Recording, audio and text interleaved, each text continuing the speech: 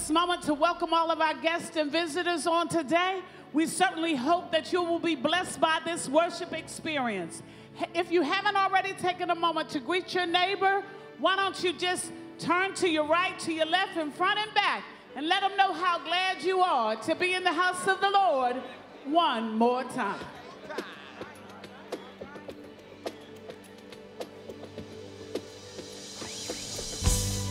Praise the Lord, everybody. Praise the Lord,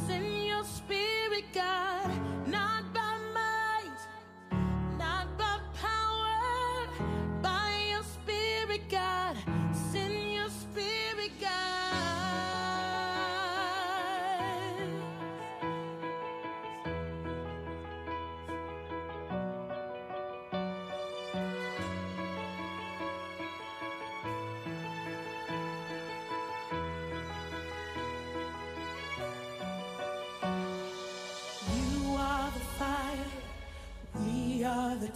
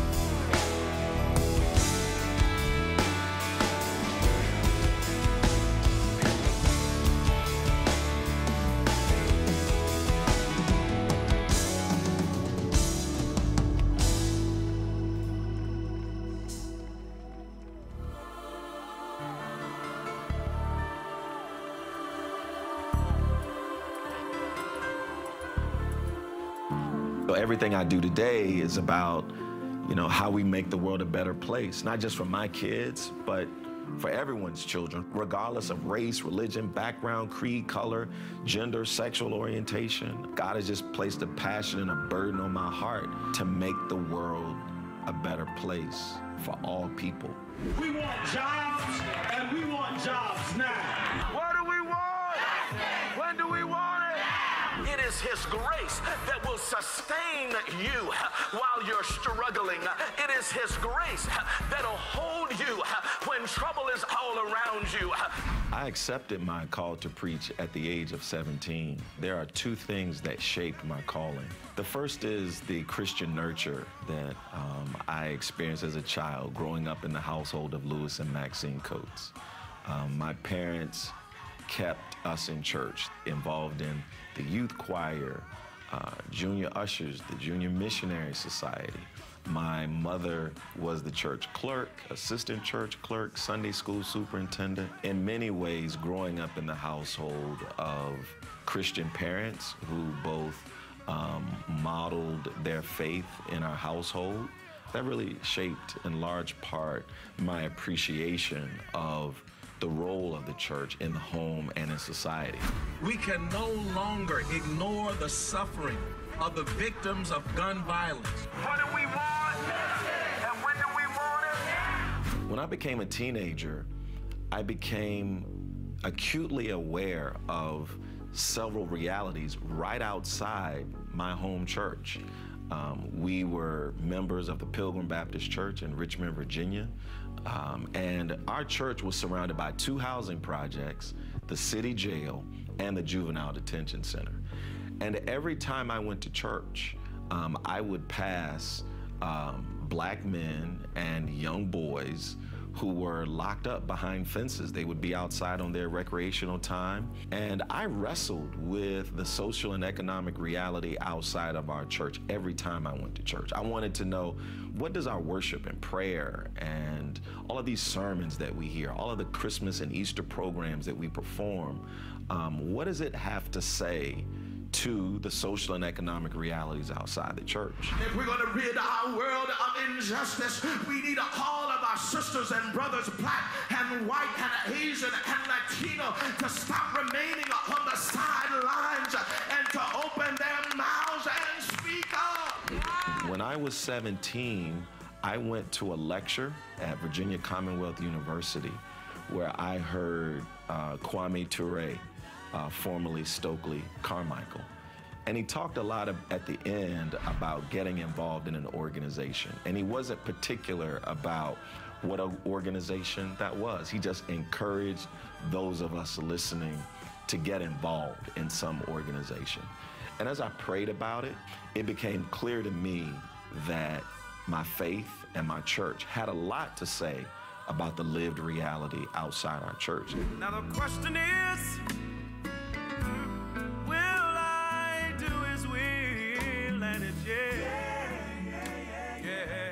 Uh, even though I accepted my call to ministry when I was 17, 18, I preached my trial sermon at 18 the summer before going off to Morehouse. I did not see my ministry in the context of the pastoral ministry. I thought that I would be a university professor. And I thought that way throughout my entire time at Morehouse. I was preparing to do a PhD in biblical studies. I sort of grew disaffected with the academy and really thought at that time that being involved in full time academic ministry was not my terrain of struggle. I wanted to commit myself to a vocation that I understood as organically connected to the black church because I really believe that the black church is our hope for the future. What makes God so good is that He blesses us despite us. He, he blesses us even when we don't deserve to be blessed. And so I think my commitment to public engagement is oftentimes shaped and inf- it's, it's sort of started by these seeds that were planted in me as a child. Hearing my father talking about seeing white men wearing white sheets at night. hearing him talk about having my father take me to the cotton mill. I think that family narrative of discrimination, struggle, and persevering through tremendous social and economic odds, it really shapes my work today. You cannot understand where you are and where you're going without knowing and understanding from whence we have come.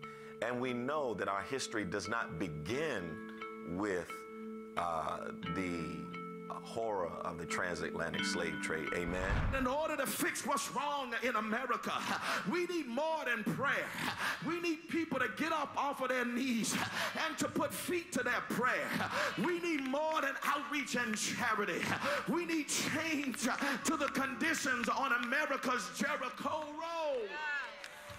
If I could go back and have a conversation with the 18 year old Delman, I think that I would tell him to be secure in who you are and to be secure in what God called you to do. You know, a lot of times we allow other people's opinions, perspectives, views, and ideas, you know, put us in a box and have control over our lives. And if I could go back and talk to Delman 18 years, you know, who's 18 years old, I would tell him to be secure in who God called you to be, to be an eagle and not a turkey, a chicken. Eagle soar. There is an invention that God wants you to invent. There's an opportunity that God wants you to take advantage of because where you are right now is just a temporary layover. The call to Mount Ennon came at a very interesting time when I was considering a few other options and opportunities. And I remember going through this kind of existential crisis, right? Because I was like, well, which option and which opportunity is from God, right? You know, if you have these three options, you don't want to choose the wrong option. You don't want to be outside of God's will. Come on, everybody, open your I ultimately decided to come to Mount Ennon. It's been one of the most significant decisions of my life that I'm so happy about. God, we thank you in advance for testimonies that are on the way. God, we thank you in advance for miracles that are on the way. God, we speak and decree that someone at this altar is going to have their doctor tell them they don't need all the medication anymore. The greatest challenge I think has really been adapting to the church's growth and the change that is necessitated um, by that growth. I think when I came to Mount Ennon, there were probably our membership. We had about 1,800 members, maybe 1,200 active at the time, um, and we've grown from 1,800 to just under 10,000. I knew that the excitement and the enthusiasm and the love and hospitality that I believe is at the core of Mount Ennon was going to be infectious. The servant leaders placed in the church by our congregation, um, in our deacons, deaconesses, and trustees are in large part attributable to why we have been so successful, effective, and have grown both spiritually and numerically. I don't always calculate, you know, the cost. I get asked all, all, the time, you know, well, when you came come out in support of marriage equality and when you come out in support of LGBT rights as a black Baptist pastor, do you count the cost? You know, do you think about who your opponents are going to be? I was just asked yesterday as I talked about this economic justice campaign, and people listen and they say, well, who are going to be your greatest enemies? You know, what do you think the banks or the bankers are going to say or feel about this? Don't you think they might oppose, you know, your work? And I tend to think more about the principle of a matter. If I'm convinced that it's right, then I tend to stand on that principle, and then I just trust that God will take care of the rest. For me, Luke 4 18 through 22 is Jesus' mission statement that the Spirit of the Lord is upon him. He's anointed him to preach the good news to the poor, to free the brokenhearted, to set at liberty those who are bruised, and to preach the acceptable year of the Lord's favor. And that's the tradition out of which I want to be located. And I think that's what I've been blessed to do at Mount Ennon for the past 15 years. And I'm hopeful that the next 15 years will do just the same.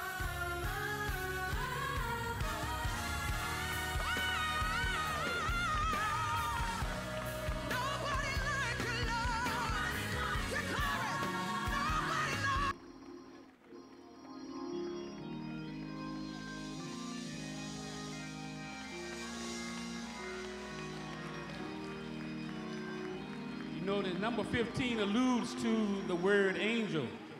And he is and he has been and is the angel of this church, the Mount Ennon Baptist Church. And we say thank you, Lord, for that. For 15 years. And there was one said when he first arrived by Deacon David, he said, as you follow Christ, we'll follow you. And Pastor, as long as you do that, we're here to support you in all your endeavors. So on behalf of Mount Ennon Baptist Church, for 15 years, and I just want to say that word, that number 15 also alludes to sabbatical. And sabbatical means rest, but most alluded to it, it says for two years or one year or something like we can't do one or two years sabbatical for you. But we can do two weeks. So we want to offer you two weeks of sabbatical so that you can get some rest and come back refreshed and do whatever it is that you do that God's laid on your heart. So we say thank you for 15. And as you say, we look forward to another 15 years under your leadership. Thank you so much for all that you do. Thank you.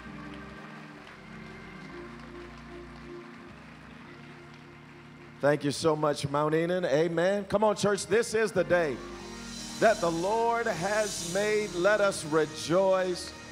Come on, where are my rejoicers in the house today?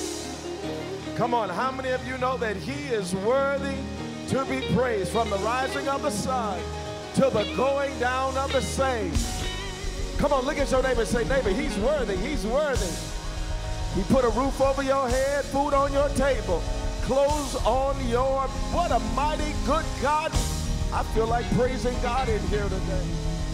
Wow, for 15 years, for 15 years, we have partnered together in ministry together. And I am so privileged and delighted to serve as your pastor. Thank you so much, church. Thank you so much, uh, Deacon Harvey, to our executive council, and certainly um, for this uh, two week sabbatical. Amen. Praise the Lord. Well, welcome to all of our guests and visitors who are worshiping uh, with us today. Just want to share with you by way of announcement as we continue in service today that our men's ministry is having their men's barbecue and fellowship. That's going to be on Saturday, June the 1st. We want all of the men to sign up for that as you exit the service today. And uh, all of you, put that uh, date on your calendar and docket uh, Saturday, June the 1st. I Also, want to let you know, brothers, get ready for Men's Day. Men's Day is coming up. Amen. And y'all know Men's Day is what? Men's Day is Men's Day is one of the holiest days in our church calendar. Amen. Sister Brown, Sister Elsie Brown, you got what? Christmas, Easter. Y'all said it. Y'all said it. I didn't. So, brothers, get ready. Sign up to be in our Men's Day choir, whether you're a member of our church or not. I would love to see this choir loft filled with men who are singing uh, the songs of Zion. Amen. Uh, Bible study is returning on this Wednesday night. Certainly want to encourage you to come out to our Wednesday Bible study. Those of you who desire to travel with us to Kenya and Zanzibar in November, uh, whether you or your family, friends you know want to travel with us, you can get obtain information about that on our church website or at the member services station. And uh, we do have Vacation Bible Week coming up the week of July the 8th every morning that week from 9 a.m. to 5 p.m. If you have some young person you want to sign up to be a part of our Vacation Bible Week, be sure to do that. Be sure to do that today. Amen. I'm so blessed and privileged to have uh, preaching the Word of God again with us, uh, Pastor John Faison Sr. He is the senior pastor of the Watson Grove Baptist Church in Nashville, Tennessee. Doctor, amen. John Faison just recently received his doctorate degree, and I'm just so delighted. Pastors an incredible congregation there in Nashville, Tennessee. I won't insult your, your intelligence. You see his bio there in today's bulletin. I want you, church, to help me to welcome our preacher for the hour, the Reverend Dr. John Faison, Senior, Watson Grove Baptist Church. Amen. Praise the Lord, my friend and brother. Amen. Bless the Lord. Well, church is giving time. Oh, come on now. We can do better than that. We should be excited about the opportunity to give unto the one who gives unto us. Amen. He promised that if we give, it shall be given unto us good measure, pressed down, shaken together, and running over. Amen. Wow. I'd certainly like to see us a little more excited about blessing the Lord because He's been a good God. Come on now, He's been a great God. He is the giver of every good and perfect gift in whom there is no variableness, no shadow of turning. Just want to share with you that we will uh, be doing two offerings on today. So we already know that um, as we're preparing now to present our tithes and offerings unto the Lord, today is our pastor's 15th pastoral anniversary. And so we're going to be celebrating him at the end of the service with a love message, a love offering, which will be separate. Amen? Amen. So as we prepare our hearts to give, we want to trust God, try God, and trust God because He said in His word, Prove me and see if I will not open up a window of heaven and pour you out a blessing that you will not have room enough to receive. And I just believe that there's got to be at least one or two folks in the house this morning who are benefactors of the awesome blessings of God, for He is a provider. He is Jehovah Jireh, our Lord God, that will provide.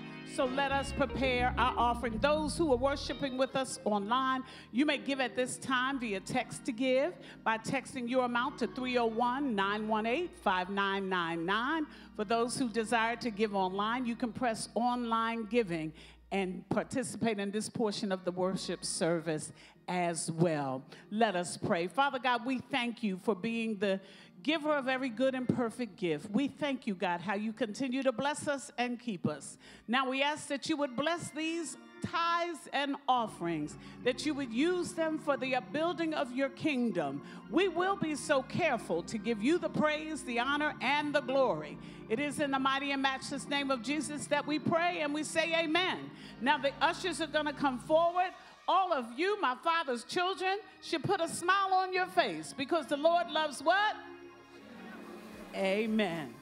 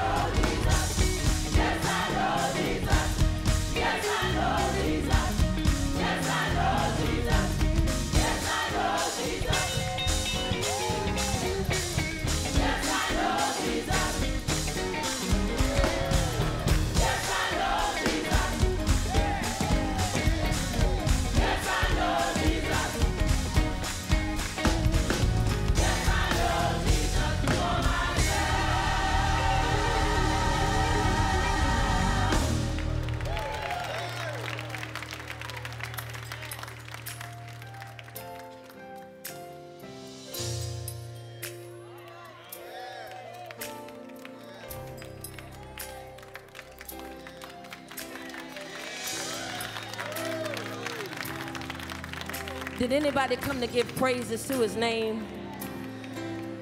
Did you really come to give praises to his name? If you know him, come on and lift your hands all over this place. And just speak well of him for just a few seconds. Has he been good to you? I sing praises to your name.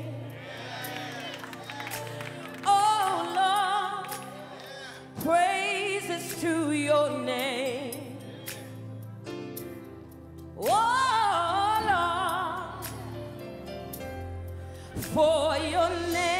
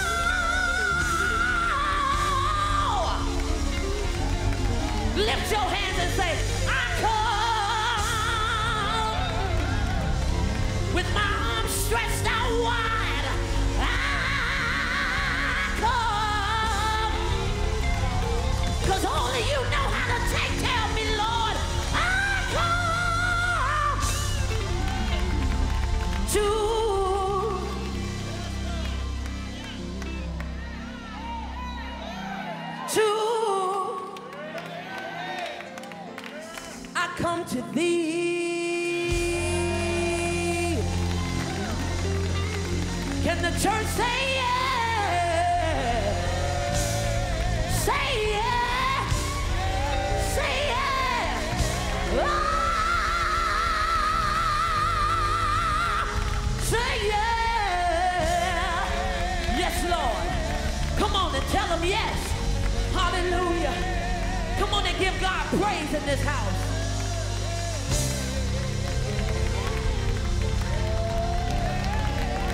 Yeah!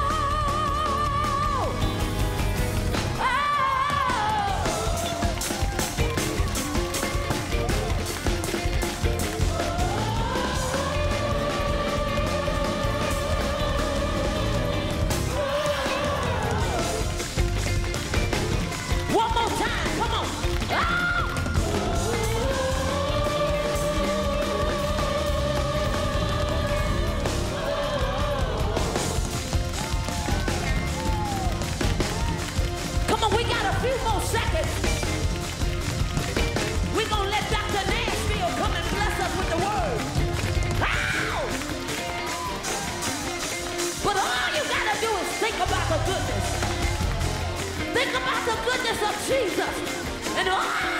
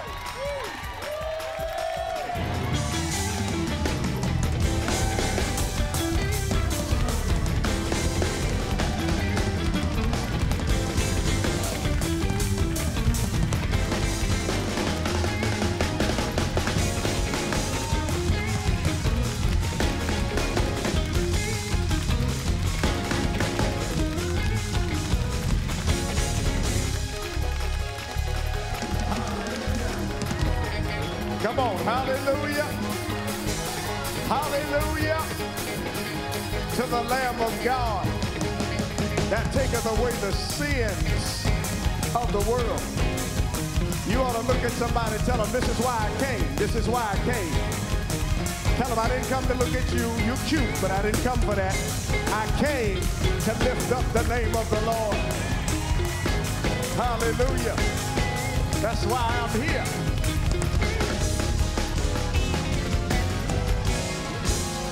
Come on, if that's why you're here, go ahead and give it to him. Come on, let everything that have breath praise the name of our God.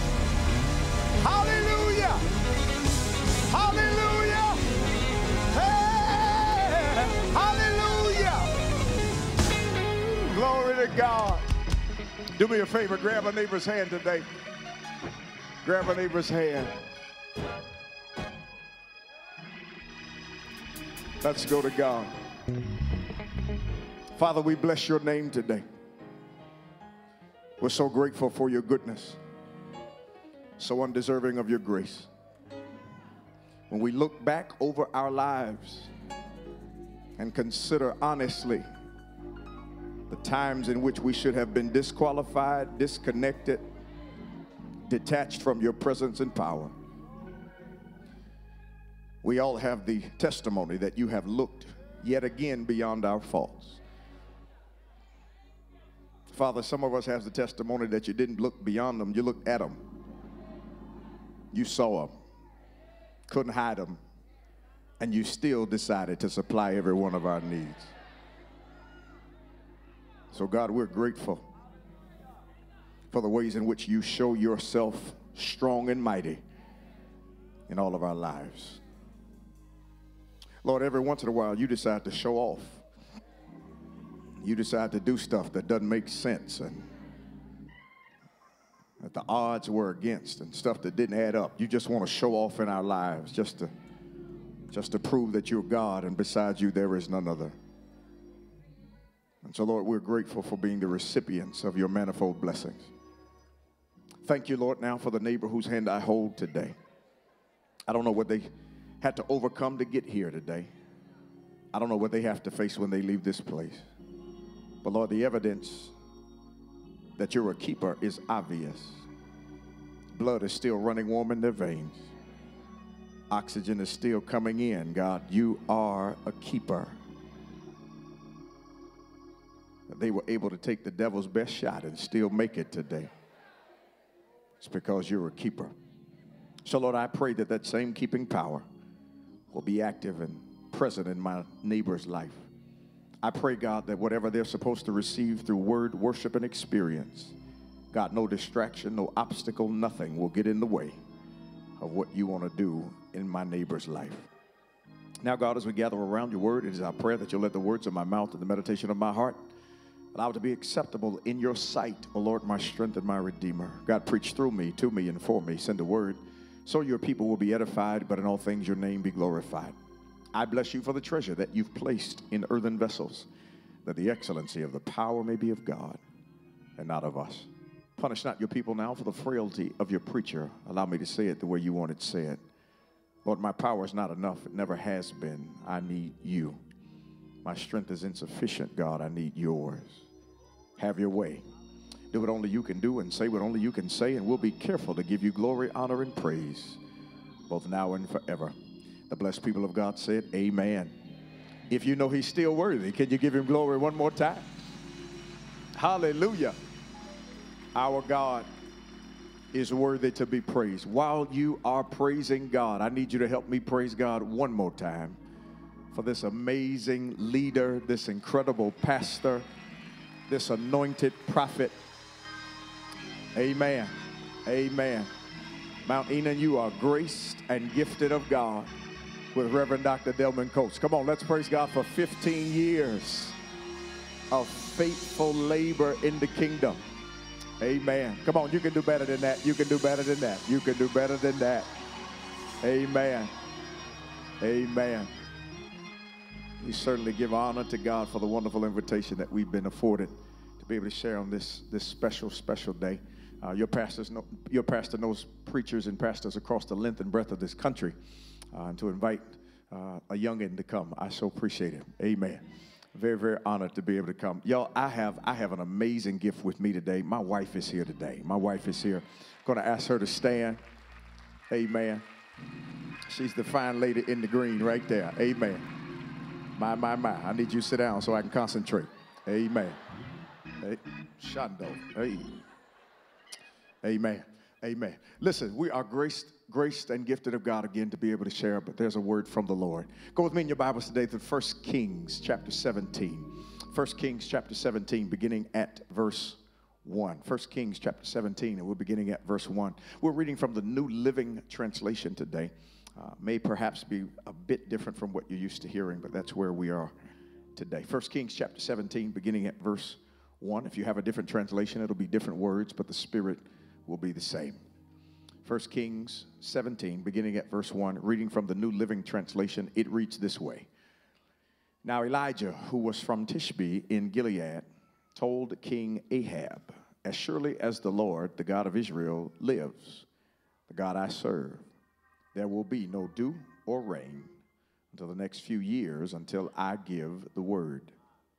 Then the Lord said to Elijah, Go to the east and hide by Kerith Brook, near where it enters the Jordan River. Drink from the brook and eat what the ravens bring you, for I have commanded them to bring you food. So Elijah did as the Lord told him and camped beside Kerith Brook, east of the Jordan. The ravens brought him bread and meat each morning and evening, and he drank from the brook. But after a while, the brook dried up for there was no rainfall anywhere in the land. Then the Lord said to Elijah, Go and live in the village of Zarephath, near the city of Sidon. I have instructed a widow there to feed you. This is the word of the Lord. Why the people of God say, Amen. Amen. Amen. I want to talk today with the Holy Spirit's guidance and with your prayers on the subject I've got benefits. I've got benefits. Listen, I'm an interactive preacher. That means I need your help to preach today. Nudge the neighbor beside you. Look at them in the face. Look at them in the eye. Look at them like they owe you some money. Look at them good. Look at them good and tell them, neighbor, I've got benefits. I've got benefits.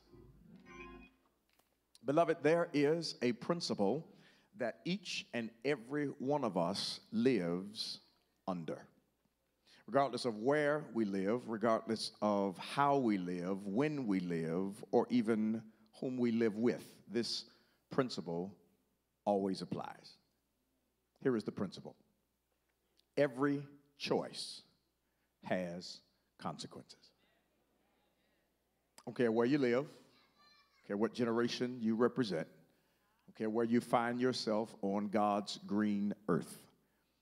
every choice you make has consequences.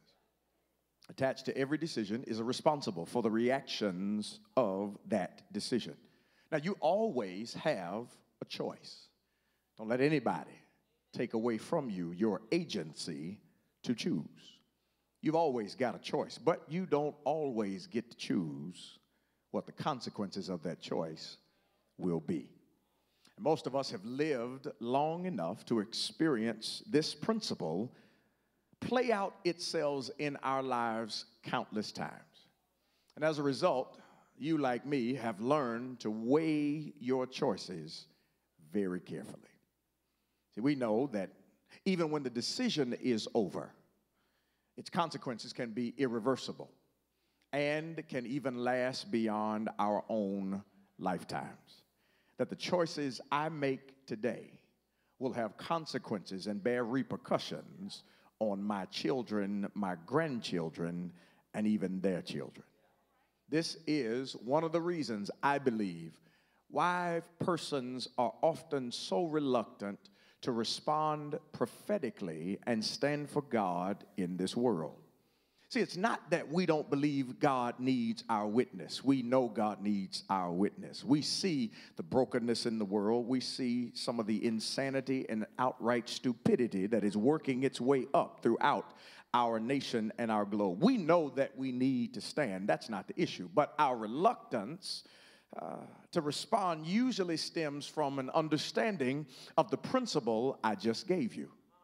See, every choice we make comes with consequences that we must manage. And for many, the consequences are simply too great, so they choose not to get involved. Well, thankfully, history remembers and reminds us of the courageous folks who chose to stand for God and do the right thing, regardless of the consequences. The list is endless of people who have chosen conviction over convenience. And if you've missed it, this is Mount Ennon's shout cue because you have a pastor that has lived for the last 15 years on the edge of being prophetic and being priestly. You have a pastor who has decided to let go of some of the comforts of connection in life so that he can stand on the prophetic edge and say what is right and live by convenient, but live by conviction and not by convenience. This is your cue. You ought to praise God for a pastor who has chosen to go after God regardless of the consequences. And so we ought to celebrate those folk appropriately. However, I want to contend today that there may have been a little bit more behind their choices than we have previously considered. See, we always talk about the burden of standing for God because of the consequences that come with it. But we usually overlook the fact that there are also, y'all, some benefits that come with standing for God as well. Walk with me. If God, y'all, is a God of justice, as scripture reveals, then God must also be just as well. This means God is fair, God is righteous, God is equitable in his dealings with you and I. See, God has all power, and we only have the power God gives and allows. Contrary to popular belief, God and us are not equals, God is greater. So then, it is not fair for an omnipotent God to require us to be God's ambassadors without providing us the power and the incentive to do so. I said it too fast. I'll say it again. I said, if God is righteous, just, equitable, and fair with you and I, and God has all power, and the only power we have is that which God gives and allows us to share, then it is not fair, it is unjust, it is unequitable for God to be an omnipotent, omniscient, all knowing, all powerful God and then require us to be his ambassadors without providing for us the power and the incentive to do so. I came the long way to make one statement to you. Whenever God calls us to stand for him, you can absolutely be assured that God will stand with us. I said that too fast. I'll say it again. I said, whatever God calls you and I to stand, whether it be in season of calm or in season of controversy and challenge, you can be guaranteed that whenever you stand for God, God will always absolutely, unequivocally stand for you.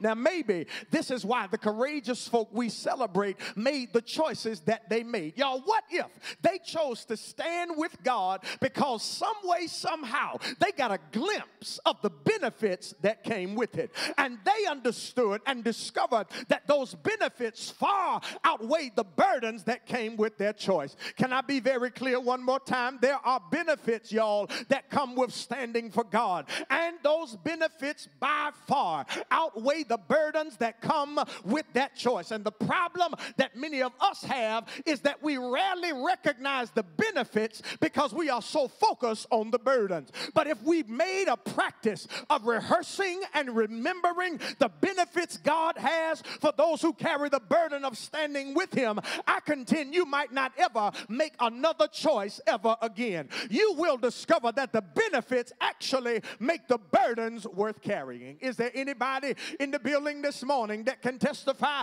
I've had some burdens in my life.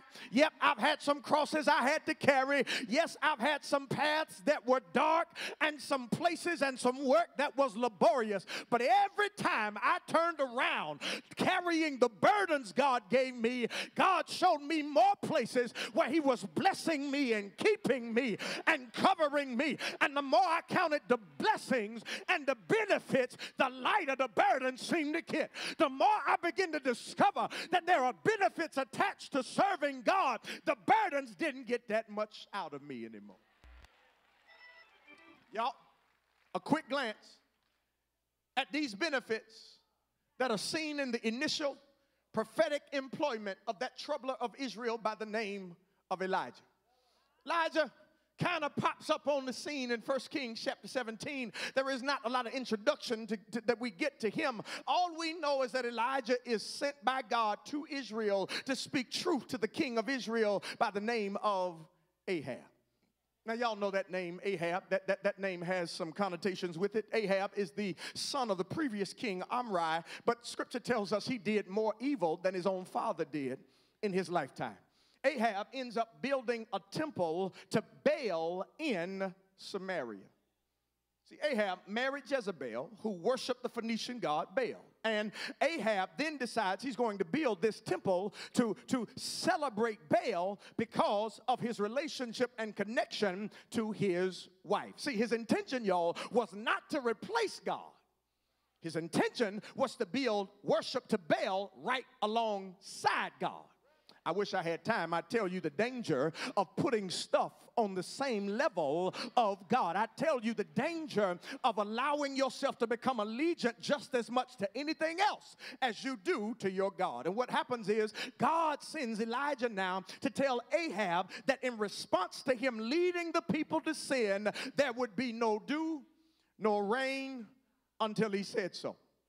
Now, this is not an insignificant prophecy. This is Israel at a time where agrarian uh, agriculture and agrarian setting of the environment was rain and dew was necessary in order to cultivate the crops that would grow to feed, that they will be able to barter and to trade and to do business. And God tells Elijah, Tell Ahab, ain't gonna be no more rain, ain't gonna be no more dew until I give the word. Now, now, now, now, you cannot skip over this prophecy because this prophecy is meant to be gangster in its character. See, see, see, uh, uh, it's meant to be an offense to those who trusted in Baal in the first place because Baal, according to his worshipers, was the god of fertility, but also was the Lord, watch this, of the rain clouds. So what A, what Elijah is telling Ahab is that if your God really is who you say your God is, you go and pray to that God and see if the rain clouds begin to come. You go and talk to that God and see if the heavens open up and any rain falls. You go ahead if you need the drought to end and your crops to be watered, go ahead and pray to Baal and see what happens. What he ends up doing is by stopping the rain, God punishes the people, but it also proves Baal is a false God. See, Elijah Elijah does what God tells him to do, but now he finds himself in trouble because uh, Jezebel has put him on Israel's top 10 most wanted list. He is being chased by ICE and all the rest of those folk who represent Ahab and Jezebel. He is being chased from country to country. They want him dead. I need you to understand Elijah carries some serious burdens in order to walk in this prophetic office. But that's what it means to be a prophet. See, I'm nervous about 21st century prophets. Because 21st century prophets are not running to problems, they're running after the title of prophet. Can I tell you, in the Old Testament, nobody wanted to be a prophet. There were no kids in elementary school dressing up for career day talking about when I grow up, I wants to be a prophet. Nobody was filling out unemployment uh, papers talking about if you got a spot for a prophet, I'll take that one. Nobody wanted to be a prophet in the Old Testament because prophets die. And while they live, they are caricatured, they are chased, they are criticized, they are captured. And when they get caught, they get abused and they get tortured. Ain't nobody trying to be a prophet. So I get nervous when people put prophet on their ministerial business card. Because if you're really one, you're not chasing after the fame. You are doing that which God has called you to do. And you ain't got to pass out no gift cards. Your enemies know you by name. He's a prophet. And there are burdens to be a prophet. But what this passage shows us is while there are burdens, there are also some benefits. I want to contend today that if you and I make a decision to stand for God, while we may have to carry some burdens, you are guaranteed that you will have some benefits. I want to give them to you. I promise I'll get out your way. His first benefit that Elijah shows us for being a prophet and standing with God. First benefit you get is strategic placement. Somebody say placement, placement. Strategic placement. What does that mean? That means that when you help God, God knows how to hide you. I'm in the book. Uh, most prophets, when, when, they get introduced, their lineage is given. Usually, when you hear prophets introduced in the Old Testament, the narrative begins by saying they're the son of such and such. They're the son of such and such. You learn at least the father if you don't learn the mother. But for Elijah, all we get is that he's a Tishbite from Gilead. There's no fanfare, there's no announcement.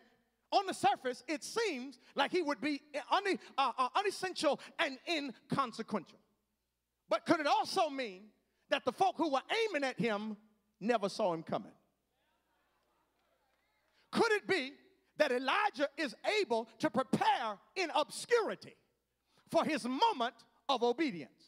That God kept him under the radar so he could be shaped and shifted and molded without interference. That before the lights came on, God spent his time pouring into him and investing in him while he was in the dark. Can I tell you, every once in a while, you ought to thank God for the times God kept you hidden. Oh, I know you want your name in the marquee. I know you want your own website. I know you want social media followers from all over the globe. But every once in a while, you ought to thank God for the times he kept you back on the backside of the desert while you were getting yourself together. Well, so that when you got to the stage where God wants you to be, you don't mess up because your character can't handle the stage you're on. He hides him. He hides him before he shows up. But then verse 2, you got your Bible. Uh, Bible says, God sends now Elijah to hide by the Kerith Brook where, the, where it enters the Jordan River. Now, here's what messes with me. Uh, Doc Coates, uh, Elijah just prophesied that there's going to be a drought coming. And as droughts develop, people flock to bodies of water, places like a brook. Too fast. God says, Elijah, go to Kerith Brook, where it enters the Jordan River. When a drought shows up and people need water, they don't stay home. They flock to bodies of water, places like a brook where it enters the Jordan River. God hides his prophet near the body of water, exactly where his enemies are going to come. God hides Elijah in plain sight. They're near him, but they can't see him and they can't see him, so they can't get to him. Can I tell you that's one of your benefits? When you stand for God, God has a way of covering you even in the presence of your enemies. He ain't got to remove your enemies, He ain't got to destroy your enemies. He'll hide you right in plain sight so that while they want to get to you, they can't touch you. Because he that dwelleth in the secret place of the Most High shall abide under the shadow of the Almighty. I don't know if you've ever found yourself in a place where God hid you, that you were looking for God to pull you out of it. You wanted God to displace you and put you somewhere else, and God dropped you right in the hottest part of the fire. But every time you looked around, you weren't burned, you didn't smell like smoke. People didn't understand why didn't you lose it? It's because God has a way of strategically placing you and covering you even in the presence of your enemy. God will give you strategic placement. Wait a minute. God, God will also give you, number two, uh, supernatural provision. Somebody say supernatural. Su- su- super, super, supernatural. What, what, what, does that mean? What does that mean? Here, here it is. It means God can take care of us in unexpected ways. That while Elijah is doing God's will, y'all, he still has basic needs. He needs food, he needs shelter, he needs water. Now, my question is how in the ham sandwich is he going to get his needs met while he's hiding? He can't go to the grocery store, he can't get up and go find a place to live. God is hiding him. How do you get taken care of while you're hidden? You got your Bible?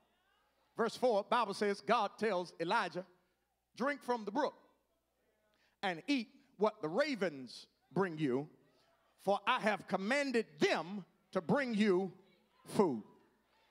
Ra- ra- ravens. Ra- ravens become expert caterers for Elijah's meals. I- I- Elijah ain't, ain't, ain't got a call. Elijah chills and stays where God puts him, and Uber Eats, transported by ravens, shows up every single morning every single lunchtime, even at dinner. And if he gets hungry at night, he got something there because when you're where you're supposed to be, God knows how to get you what you need.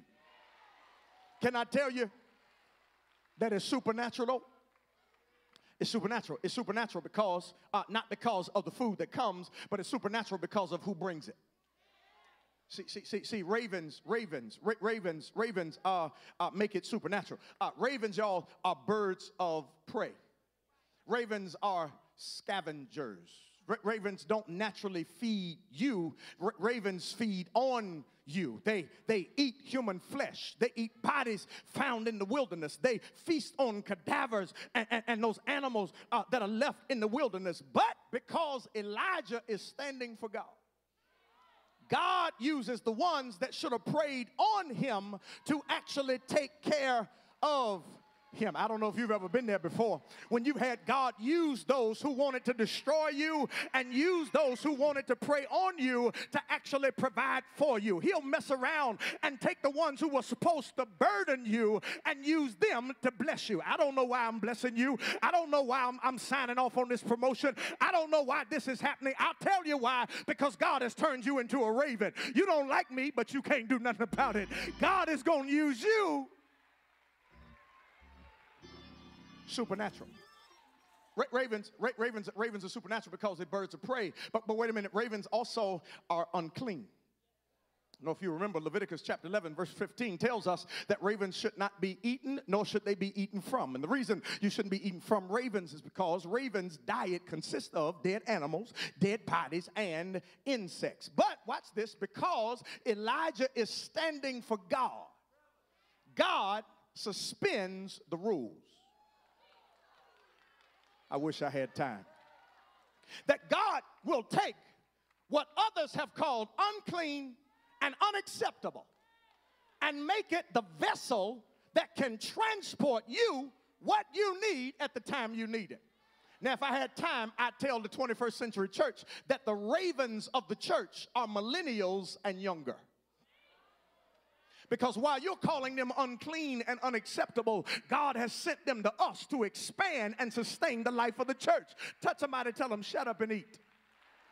They might not like, you might not like what they do. You might not like how they look. You might not like how they flow. You might not like their relational or their connectivity concepts. But listen, you ought to eat what God is sending you because they're the ones that's going to keep the church going after all of us have gone. Ra- Ravens, ravens are unclean. Wait a minute. Ra- Ravens also can't bring very much.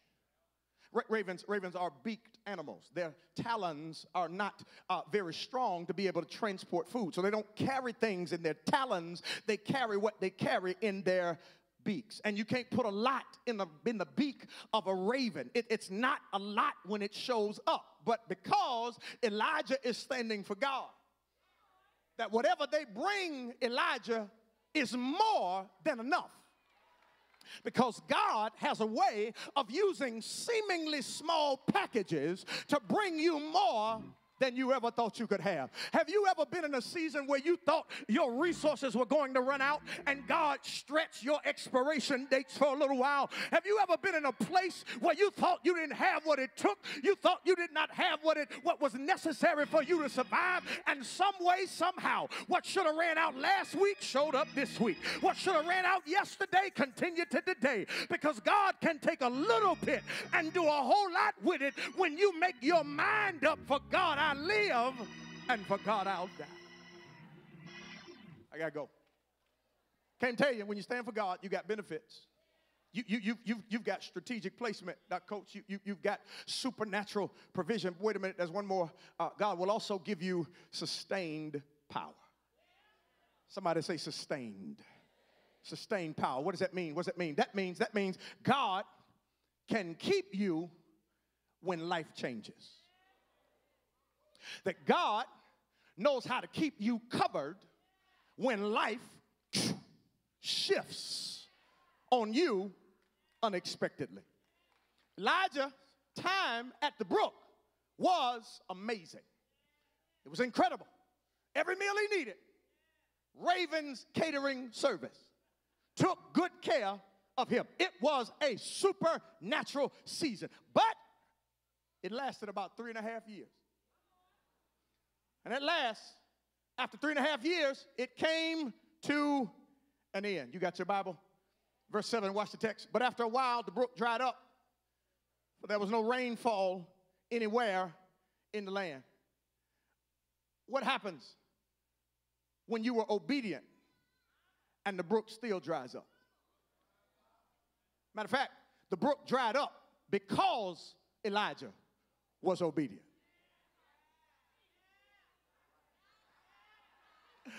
I'm having too much fun. Uh, uh, uh, we grow up in a day where we are taught that, that, that, that if you do everything God tells you to do, that you ain't supposed to have no sickness. You ain't supposed to have no trials. You're not supposed to have any dark days and any dark moments. That if you're doing what God says you're supposed to do, everything's going to work out perfectly. Not so. You can be where you're supposed to be, doing what you're supposed to do, and the brook can still dry up. But can I tell you that why, when, when, when, when this season ends for Elijah, you will notice there is no panic in Elijah. Why is, is, is Elijah not panicking? I'll tell you why. Uh, because seasons always end.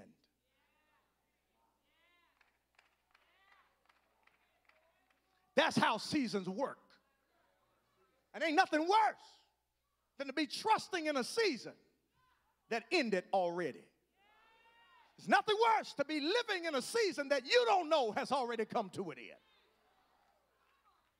Because that's what seasons do. Good seasons end, bad seasons end, melancholy seasons end. But Elijah's not tripping because Elijah knows that while the season was used to take care of him, the season was never his supply. So when the season ends, your supply will not. in providential fashion. God provides for Elijah. Season ends, brook dries up. Verse 8, verse 9, here's what it says God connects him to a widow in the village of Zarephath. Here's what you got to know when you stand for God, there will be seasons that come to an end. There will be times and moments that don't make sense. But your supply will not come to an end. You got to know that whatever is being used to take care of you is a resource, it is not the source.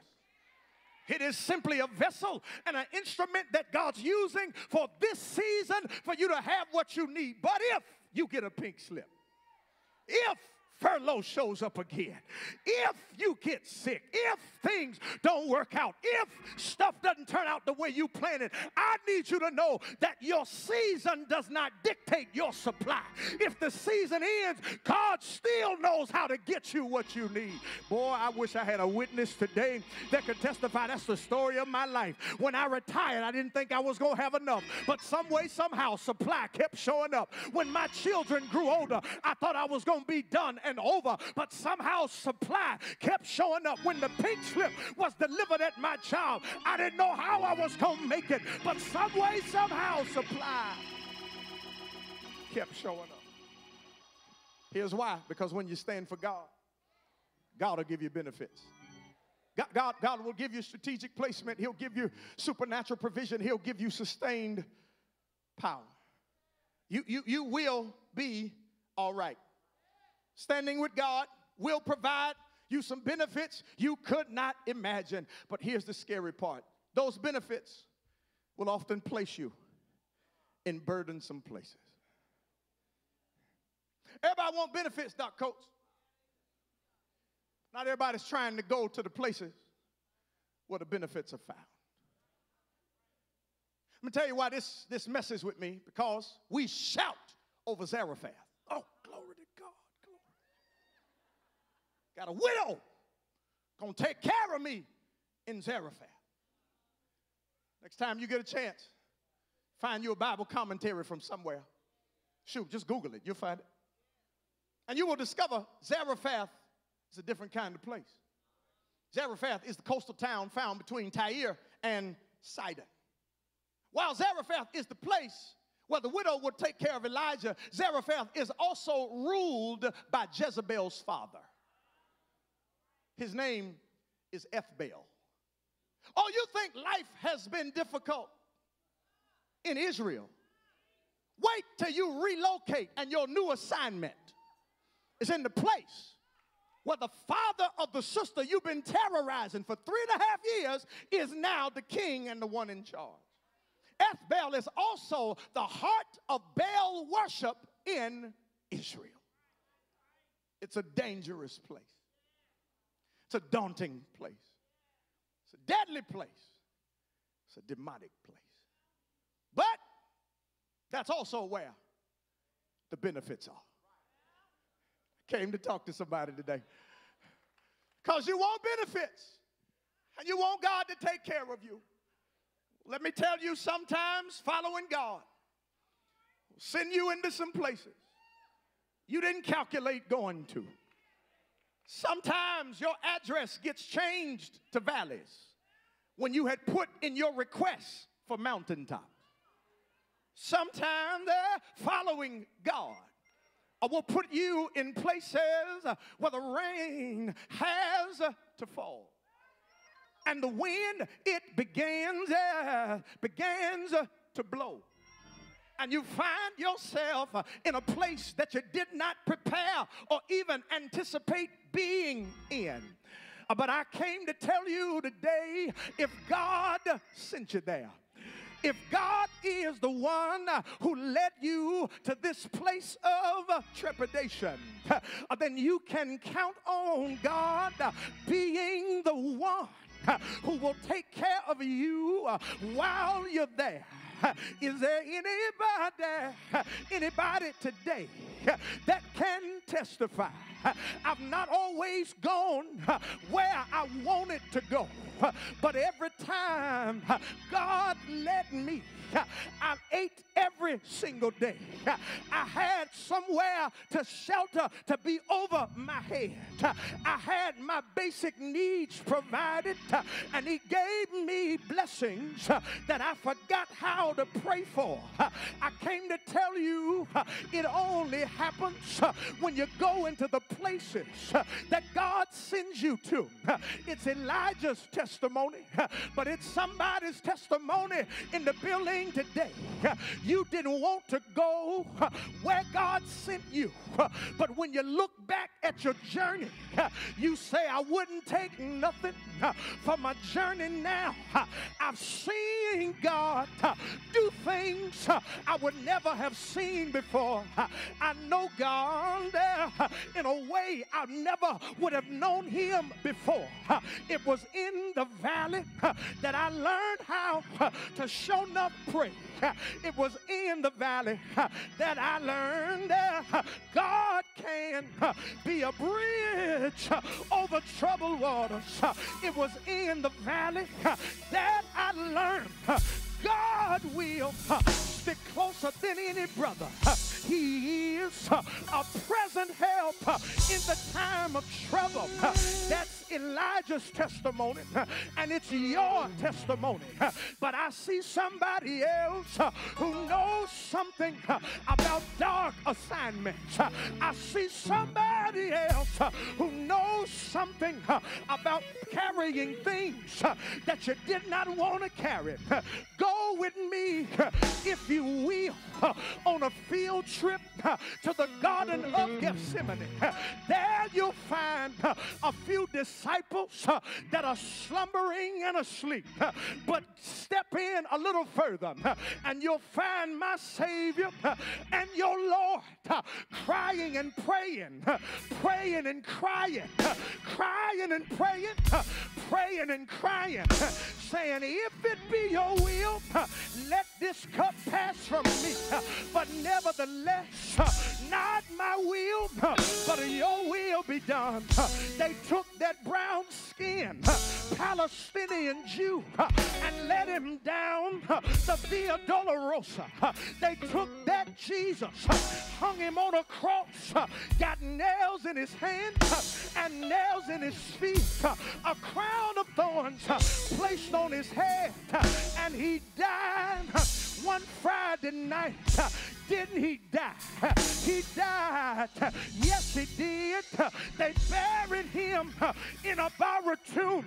But the good news is, if you hang in there and if you hold on, your benefits, they will kick in. Three days later, my old school mama and my old school granddad would say, early, early Sunday morning, his benefits kicked in. And he got up with all power in his hands. And because he lives, you can face tomorrow. Because he lives, all of my fears, they are gone. Because I know who holds the future. Life is worth the living just because he lives. We gotta go, y'all. But is there anybody in the building today that knows God can take care of you? Is there anybody in the building today that knows God can cover you? Is there anybody in the building today that knows God will make a way out of no way? If you know He will, lift your hands, open up your mouth, and tell Him yes. Say yes. Yes.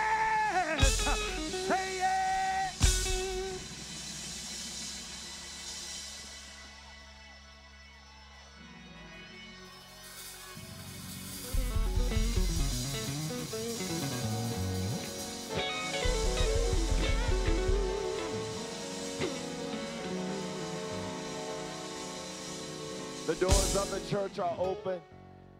Please don't move. This is the most important part of our service.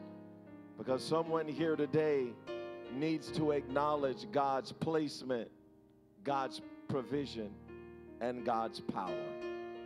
If you're here today and you're not saved, if you've never welcomed Jesus Christ into your heart, you want to know that if you died tonight, that you would go to heaven and spend eternity with God. I want to invite you, my sister, my brother, make a decision today that'll last the rest of your life. Is there one who will say, Yes, Pastor, I want to put my hand in God's hand? I want to be baptized by water and fire. There might be someone else here today, perhaps you're saved already, but you don't have a church home in which you're growing where you're going. If you're here today and you sense the Lord saying, you know what, this is where you need to be, I want you to know that we would love to be your church. Come on, I'd love to be your pastor. Listen, can you can you ask the person next to you, ask them, say, neighbor, are you saved? Come on. Come on, ask them, say, neighbor, are you saved?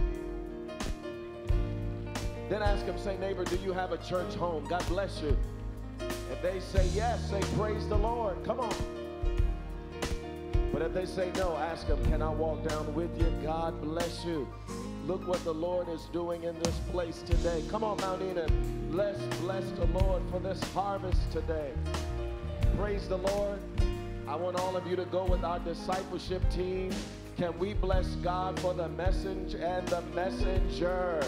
The Reverend Dr. John Faison. Amen. Watson Grove Baptist Church, Nashville. Listen, I know we are past our hour, but listen, I want to encourage you to be with us next Sunday. God has given me a word for the times in which we are in right now. We are in the midst of chaotic times today.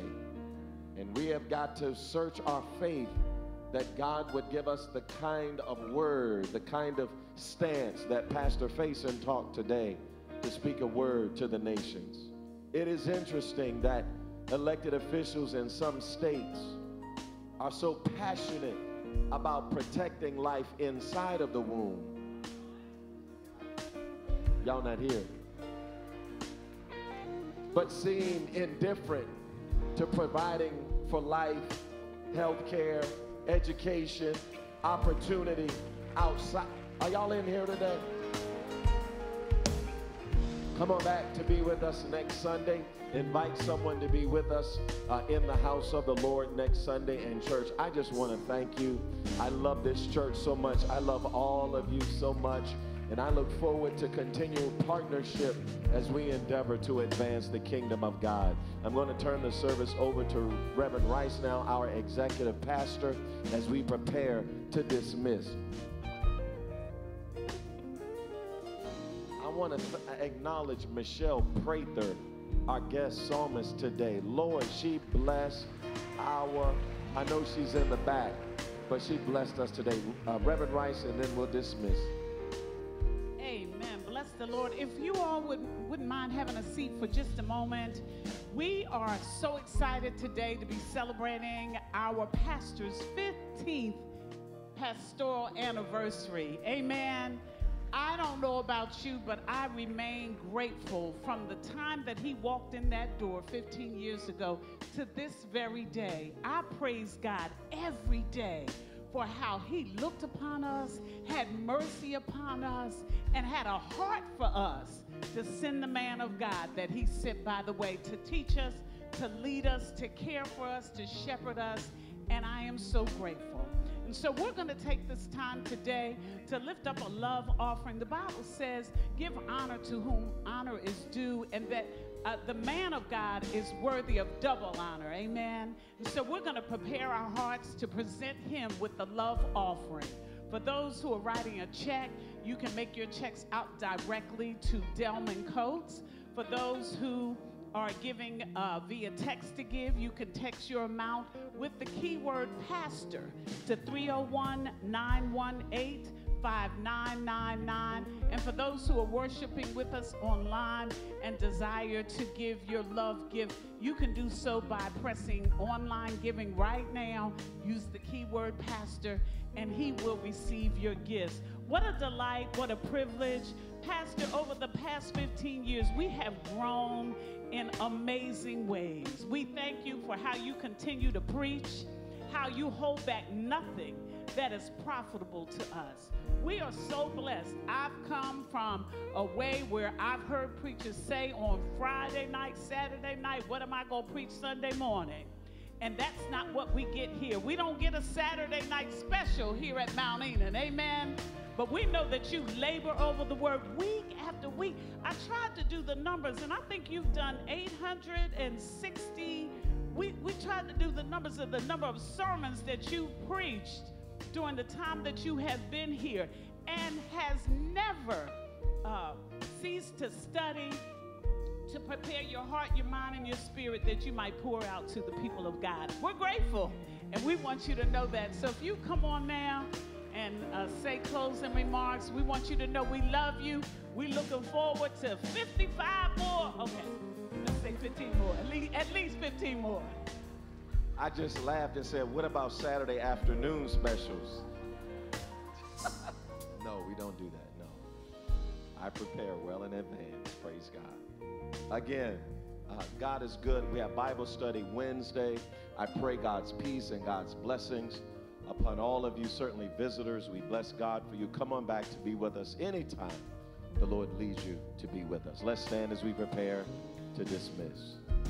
Gracious God, we thank you for this day and we thank you for this mountaintop experience. As we go back down into the valley, we pray, Lord, now that you would consecrate our heads, our hands, and our hearts that we might do your will, that we might do your bidding. We thank you, Lord, for placement, provision, and empowerment. And now may the grace of our Lord and the sweet communion of the Holy Spirit rest, rule, and abide with us henceforth and forevermore. Let all of God's people say amen. Say amen again. You all be blessed and go in peace. Come on, shake the hand of our preacher if you so desire. Get home safely. We'll see you next Sunday. God bless you.